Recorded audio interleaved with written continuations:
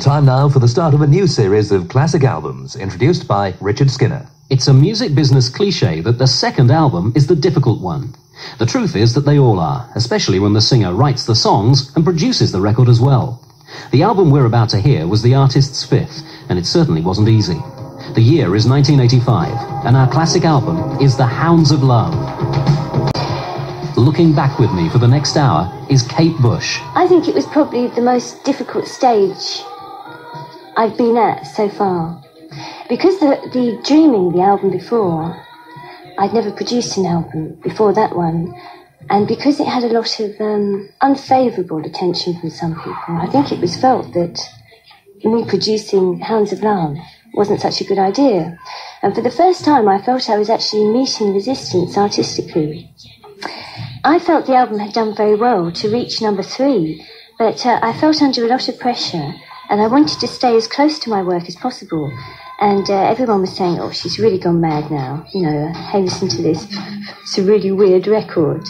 But it, it was very important that it happened to me because it made me think, right, do I really want to produce my own stuff? You know, do I really care about being famous? And I was very pleased with myself that no, it didn't matter as much as making a good album. So we started Hounds of Love in our own studio, and I started to find out an awful lot of things that I wouldn't have realised otherwise.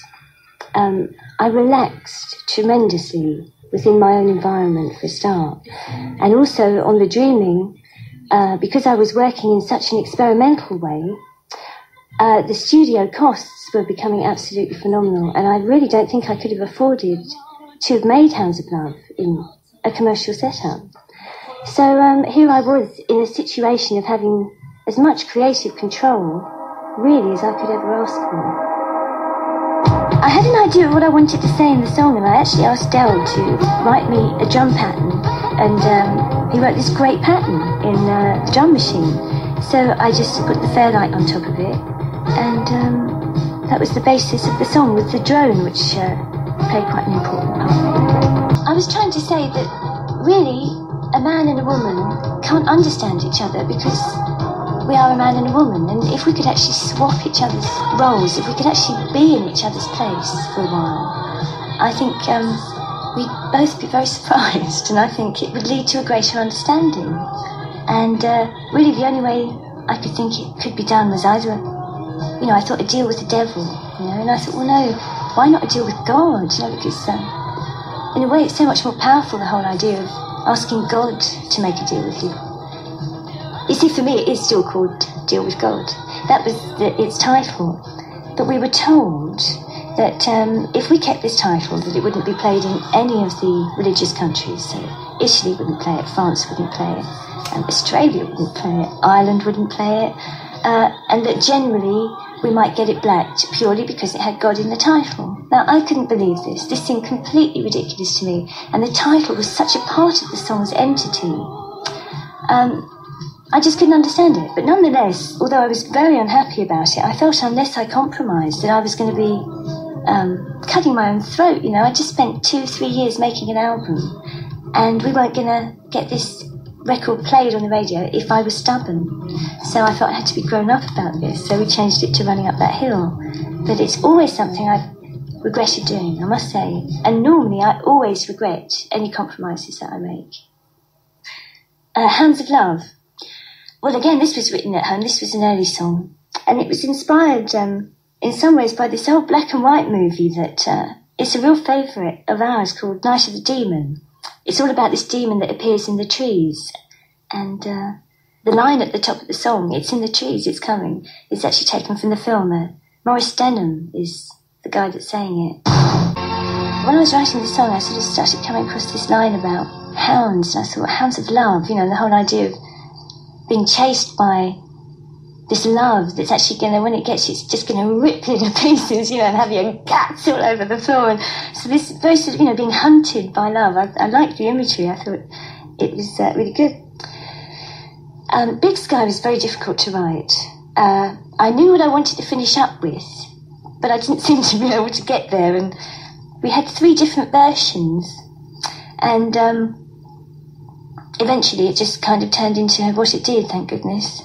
That was really about, you know, the thing of when uh, I used to do it a lot when I was a kid. We'd go out somewhere and sit up and look at the sky, and if you watch the clouds long enough, they take on um, different shapes. You know, you can see dinosaurs in them or castles. And at the time I was writing this album, we were living in the country, and uh, my keyboards and stuff were in this room overlooking a valley, and I'd sit and watch the clouds uh, rolling uphill towards me. And uh, there is a lot of weather on this album. Uh, the countryside was a big inspiration uh, at this time. Uh, and it's always changing. It's a very different perspective from living in a city. Uh, sometimes you hardly see the sky above the buildings at all. The big sky. Kate had first used a fairlight on her third album, Never for Ever, and by the time she made Hounds of Love, it had become a key element in the creative process. I'd say with this album that most of the songs were written on fairlight and synth and not piano, which is uh, was moving away really from the earlier albums where all my material was written on piano. And there is something about the character of a sound. You hear a sound and it has a whole quality of its own that it can be sad or happy or and that immediately conjures up images which can of course help you to think of ideas that lead you on to a song. So everything is crucial for trying to find some direction with inspiration and really sounds now, I think, are pieces of gold for people. You know, a good sound is uh, worth a lot artistically. uh, quite often, I find synthetic sounds create a coldness that if the track is lonely or sad or um, dark, sometimes you want that kind of coldness, that that machine-like coldness, which is very specific. And with acoustic instruments, you get a real normally a very warm human presence and something that's intimate and really there, something that breathes. You know, it's not this kind of dead, cold machine. Uh, and I, I feel that both are very usable depending on what you want to say. How about Mother Stands for Comfort, for instance? Well, the personality that sings this track is um, is very unfeeling in a way, and the cold qualities of synths uh, and machines were appropriate here. Um, there are many different kinds of love. And the track's really talking about um, the love of a mother. And in this case, she's the mother of a murderer, in that um, she's basically prepared to protect her son against anything. Because uh, in a way, it's also suggesting that the son is using the mother as much as the mother is protecting him. It's a bit of a strange subject matter, isn't it, really? Mother stands for comfort. Our classic album is The Hounds of Love by Kate Bush, and the next track is Cloud Busting. This was very special to me because it was all inspired by a book that I'd found years ago. And uh, I went into a bookshop I used to go into regularly and just saw this. I liked the title. It said A Book of Dreams, and uh, took the book off the shelf. I'd never done it before, an unknown book. And uh, it was this beautiful story by this guy called Peter Reich and it's all about his view of his father, but through the eyes of a child. So it was all about his childhood and how he saw his father as this incredibly magical figure. And uh, his father was Wilhelm Reich, and he was a very respected psychoanalyst, I believe. Um, but his work became controversial, and he was eventually arrested and died in prison. But um, one of the things that features in the book is how he used to go with his father cloud busting. And uh, his father had this machine that uh, when you pointed it up to the sky, you could make the clouds disperse or you could gather them together. And if you gathered them together, it would rain. And um, the machine was all based on orgone energy, which was one of the basis of uh, Reich's teachings. And the book is just extraordinary. It's so sad, but it's also got this beautiful kind of happy innocence that goes with childhood. And as the guy grows up in the book, it does get sadder and sadder as you can feel him hanging on to his childhood. And uh, the book really touched me, and the song is is really trying to to tell that story. That did all fall apart over a a period of about 10 bars. And everything just started falling apart because it didn't end properly. And you know the drummer would stop and then the strings would just sort of start wiggling around and talking. And uh, I felt it needed an ending and I didn't really know what to do. And then I thought maybe decoy tactics were the way. And we covered the whole thing over with a the sound of a steam engine slowing down so that you had the sense of the journey coming to an end. And it worked. It covered up all the falling apart and actually made it sound very complete in a way. And uh, we oh, had terrible trouble getting um, a sound effect of a steam train. So um, we actually made up the sound effect out of uh, various sounds, and Del was the steam. and uh, you know we got a whistle on the fairlight for the poo poo. Continuous flow of music on a compact disc masks the fact that Hounds of Love and The Ninth Wave were conceived as two quite separate sides to the album. Yes, they were. I started off writing, um, I think, Running Up That Hill, Hounds of Love, and then I think probably uh, Dream of Sheep. And once I wrote that, that was it. That was the beginning of what then became the concept. And really, for me, from the beginning, The Ninth Wave was a film. That's how I thought of it.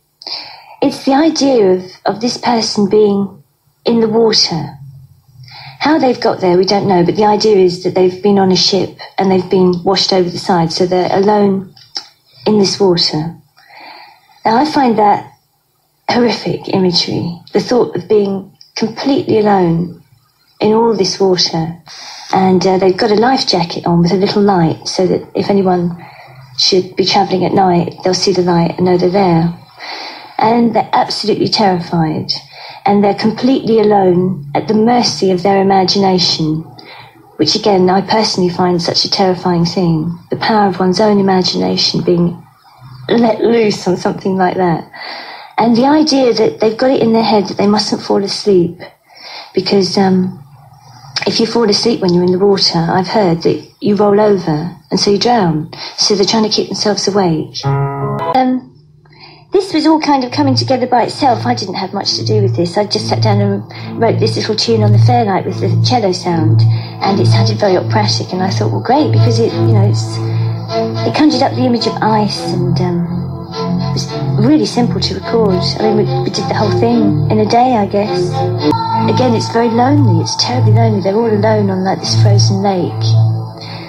And at the end of it, it's the idea of um, seeing themselves under the ice in the river. So I mean, we're talking real nightmare stuff here. And uh, at this point, when they say, you know, my God, it's me, you know, it's me under the ice, ah! uh, these sort of visitors come to wake them up, to bring them out of this um, dream so that they don't drown. My God. My mother's in there, my father, my brothers Paddy and John, Brian Tench, the guy that mixed the album with us, is in there, Daryl's in there, Robbie Coltrane does one of the voices. It was just trying to get lots of different characters and all the ways that people wake you up. You must wake Like, you know, when you, you sort of fall asleep at your desk at school and the teacher says, "Wake!" couldn't get a helicopter anywhere. And in the end, I asked permission to use the helicopter from the wall, from the Floyd.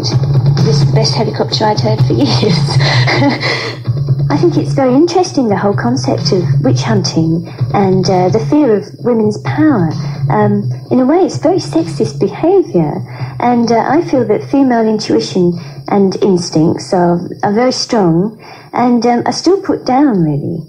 Um, and in this song, this woman is being persecuted by the witch hunter and a whole jury, although she's committed no crime, and uh, they're trying to push her under the water to see if she'll sink or float. Ooh, uh. You're listening to Classic Albums with me, Richard Skinner, and Kate Bush. And the next track on Hounds of Love is Watching You Without Me. now, this poor sod has been in the water for hours and been witch hunted and everything. Um, suddenly they're kind of at um, home, in spirit, seeing their loved one, sitting there waiting for them to come home. And, you know, watching the clock and um, obviously very worried about where they are, maybe make, making phone calls and things. But there's no way that you can actually communicate because they can't see you, they can't hear you. And um, I find this really horrific. These are all like my own personal worst nightmares, I guess, put into song. And uh, when we started putting the track together, I had this idea for these backing vocals, you know, you can't hear me. And I thought that maybe to disguise them so that, you know, you, you couldn't actually hear what the backing vocals were saying. Watching You Without Me. Next is Jig of Life. At this point in the story, it's the future self of this person coming to visit them, to give them a bit of help here. I mean, it's about time they had a bit of help. So it's their future self saying, look, you know, don't give up. You've got to stay alive because if you don't stay alive, that means I don't, you know, and I'm alive. I've had kids. I've, you know, I've been through years and years of life. So you have to survive. You mustn't give up. This was written in Ireland. Uh, at one point, I did quite a lot of writing in Ireland, lyrically particularly. And again, it was a tremendous sort of elemental dose I was getting, you know, all this beautiful countryside spending a lot of time outside and walking. So I had this tremendous sort of stimulus from from the outside. And this was one of the tracks that the Irish musicians that we worked with was featured on. There was a tune that my brother Paddy found, which uh, he said, "You've got to hear this. You'll love it." And uh, he was right.